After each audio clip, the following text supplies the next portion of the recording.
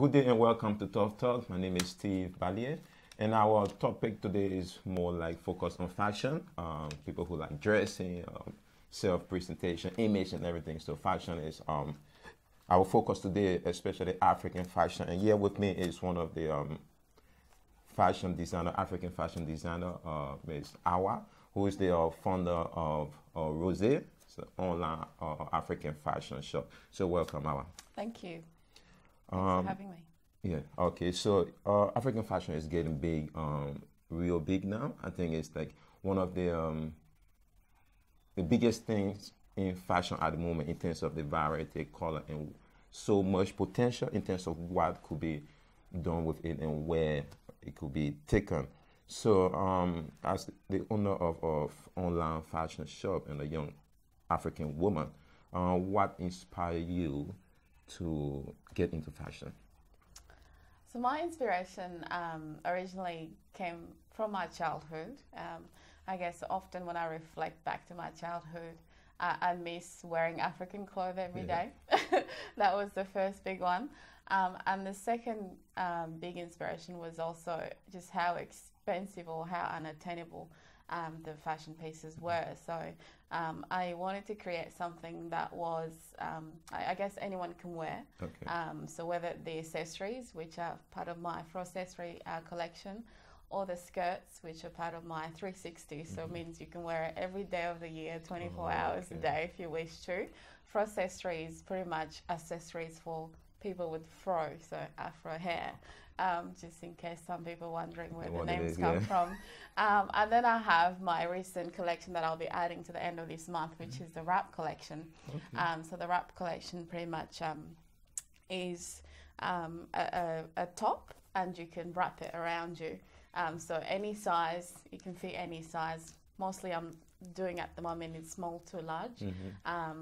But like I said, we'll see how we go in the future because I only launched it, um, the website two months ago. So okay. um, obviously, uh, the longer we go through it, hopefully mm-hmm. I'll be able to uh, get some more inspiration. So oh. yeah, I'm hoping to, um, I guess, make it more accessible to the African or um, the general community to be able to have the love, you know, for African fashion again. You know, because I think if um, they're able to um, you know, if they can afford it, then they can uh, wear it more frequently, which will be amazing. The start of everything is difficult, you know, um, a lot of work, and but the one key thing is support.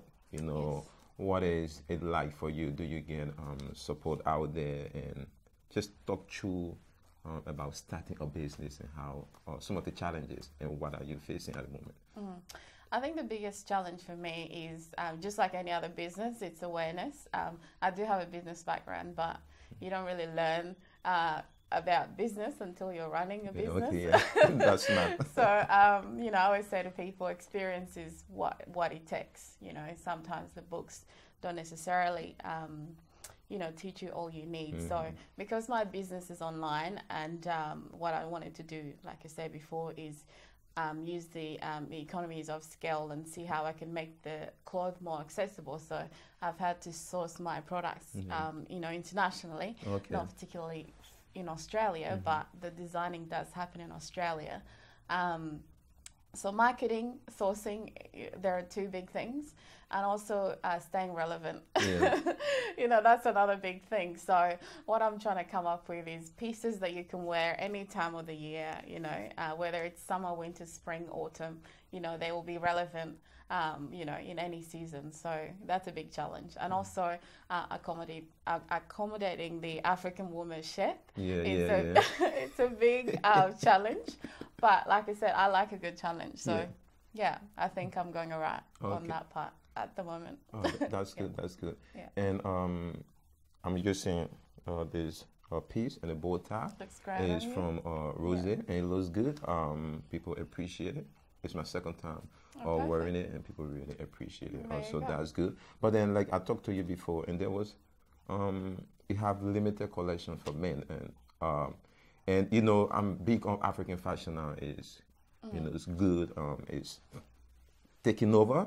Yeah. Um, and when do you you know have enough things for men like for uh, men. more collections for men? Yeah. Um, because I'm only two months into the business, um, I'm hoping to extend it six months, eight months from now. We don't know what's going to happen. Okay. Um, so I do have a few pop-up shops coming up. Okay, yeah. Um, and like I say, it all depends on uh, the amount of revenue I bring in every Yeah. month. So um, the wrap collection is the latest after two months of going. So um, it's not going to come until the end of July. Okay, Um, mm. We'll see how that collection does, and um, if it goes really well, then the revenue that I'll get from that, I'll hopefully invest it into African men um, tops. Yeah, yeah. um, The same thing again, you know. Um, I guess it's harder to design a top that would make it comfortable for an African man, whether they have a big belly or six Yeah. packs.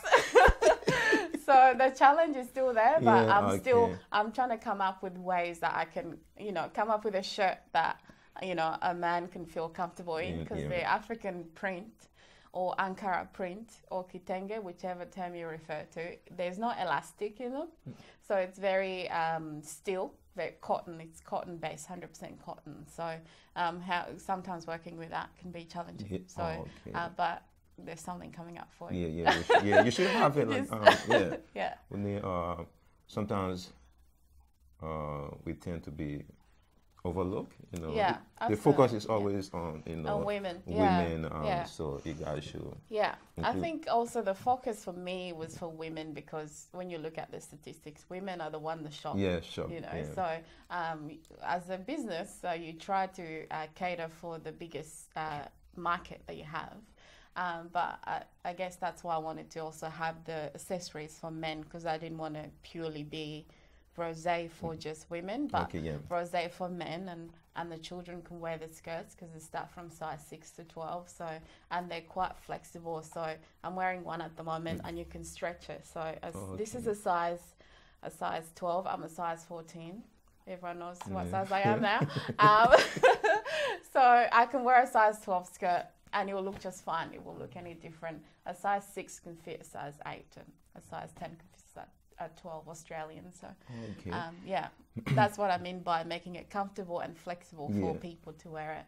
You know, because often if you buy an African outfit from a traditional shop, um, there is not much flexibility Yeah. in the material. So if you put on weight, or if you go to a party and eat more than you expected, um, you might not walking out with, you know, yeah, looking as good as you walked in. Yeah. Yeah. So just like um, as a designer, right? Yeah. Um, through your brands, your collection, what message do you send? Like, what do you hope to add to African fashion?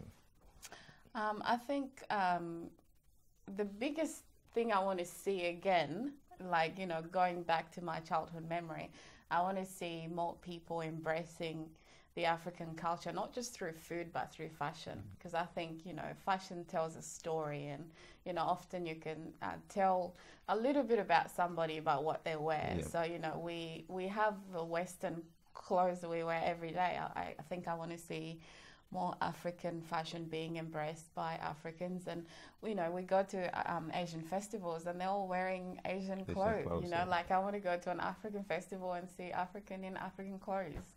I want to go to an African party and see them in African clothing. So Mm-hmm. um, I'm hoping I'll be able to contribute to that. Yeah, and I think that is quite possible though, because like look at the music video, Mm. um, and I think there's more.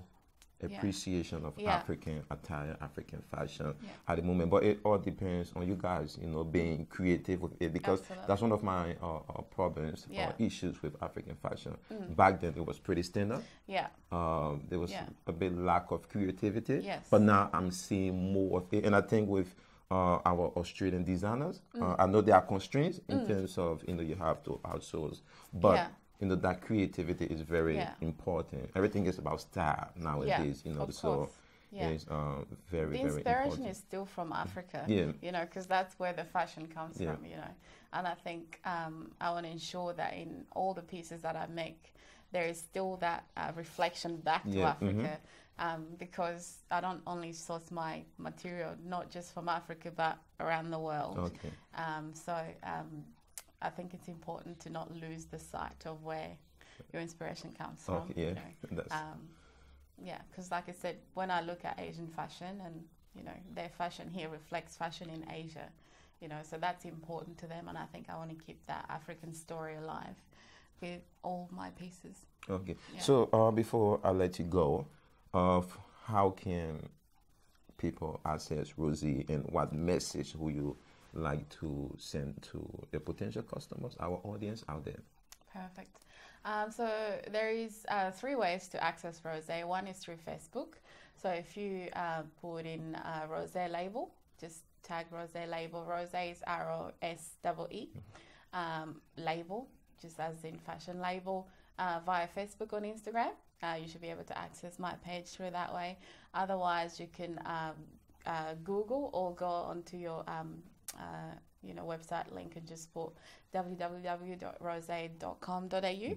Um, and you should be able to access that. At the moment, I do have um, a 10% off Oh, uh, discount, yeah. discount going on. You just have to go on the website, um, put in your email, and it'll give you a code, uh, and then you'll be able to uh, purchase everything and get your 10% off. Um, I'm also wanting through Roseé to partner with um, smaller businesses or projects um, such as yourselves Yep. and see how we can work together. I think it's all about supporting each, Each other. other, We yeah. are living outside of our continent, and it's important to keep that cooperation um, together because you know I think we can do more and better if we support each other. So um, I'm hoping to partner once you know. I've cut my losses with, you know, starting a business. Of course, you're running on deficit. Yeah. So once we start reaching those surpluses, I'm hoping to invest the money back into the community, whether it will be through partnerships or Yeah. through scholarships. Um, I'm a very I'm very passionate about education and Yeah. people having the ability and access to good education. So um, I hope through Roseé I'll be able to achieve that. Just Yeah. that. And I think we look forward to uh, working with you in terms of partnership and supporting the community. And I think that's what we all represent. Absolutely. Um, so it is important we do that. We are pretty much open, very open to that.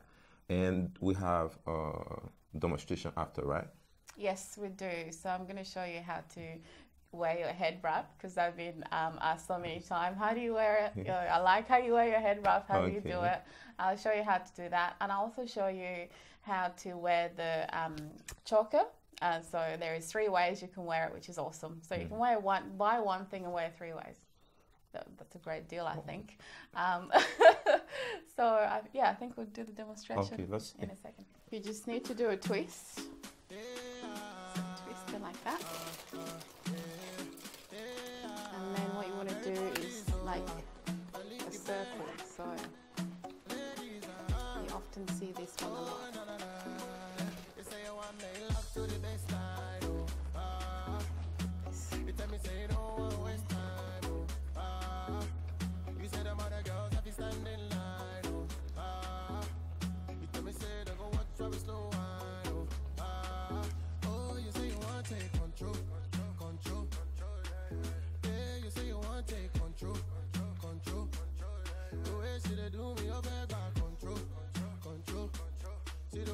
Is more of a traditional, you know, African mum sort of thing. They tend to do this one a lot. It's much easier. Oh, yeah. I one. Just make sure you tuck in the back.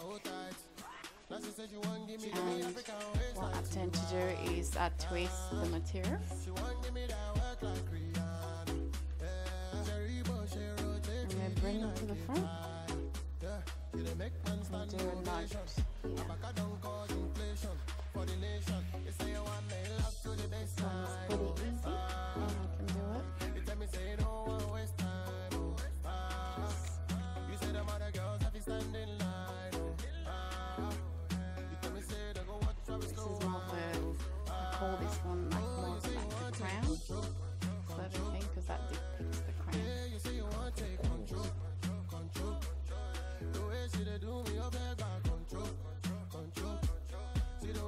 So that was a beautiful demonstration. Thank you. Uh, it's interesting how you could do so many things uh, with that one piece. Um, and I think if you like what you see, uh, hop onto Roseé website and show some love and support. Uh, I've started and we will um, su- support you as much as we can. It's a good initiative for our community and we look forward to working with you uh, in future. and um, wish the best for your business. So just want to say thank you for coming on and thank you for showing Thank us. you for having me. Yeah.